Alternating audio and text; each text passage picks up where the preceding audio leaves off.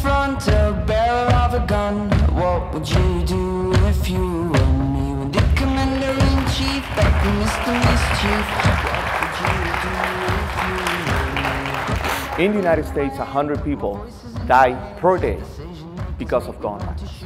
Every 15 minutes, a mother, a father, a wife, a husband suffer what we are suffering right now. My name is Manuel Oliver. I am Joaquin Oliver's dad. His friends call him Guac. He was surrounded by flowers, love, music, his family, and he was the most amazing person that I have ever we think that this is beyond schools, it's beyond Parkland. This is not red or blue, about saving lives. When you lose a son, what do you do? You do what you do best. I'm not a politician. I'm an artist. And I paint. That's what I do.